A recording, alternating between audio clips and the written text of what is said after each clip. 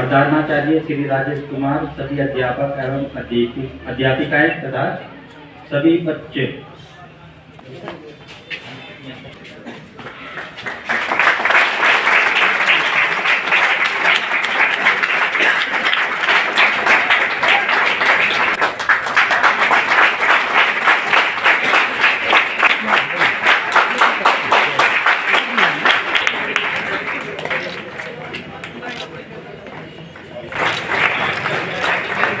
भारत के लिए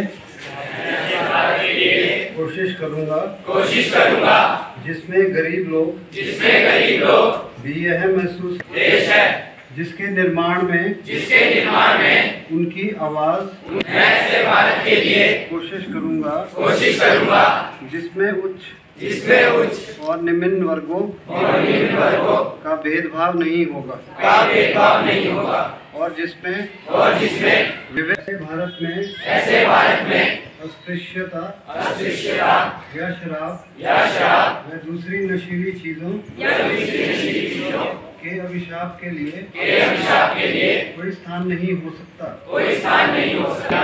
के साथ हमारा के साथ हमारा संबंध। संबंध। शांति का होगा। शांति का होगा। जान को जिसका जन जन है हमारी जिसका जन जन है हमारी गण एवं मेरे प्रिय साथियों आज हम यहाँ पर एक ऐसे व्यक्ति जैसा कि आप जानते ही हैं कि हम आल, आज महात्मा गांधी जी और लाल बहादुर शास्त्री जी की जयंती पर यहाँ पे इकट्ठा हुए हैं।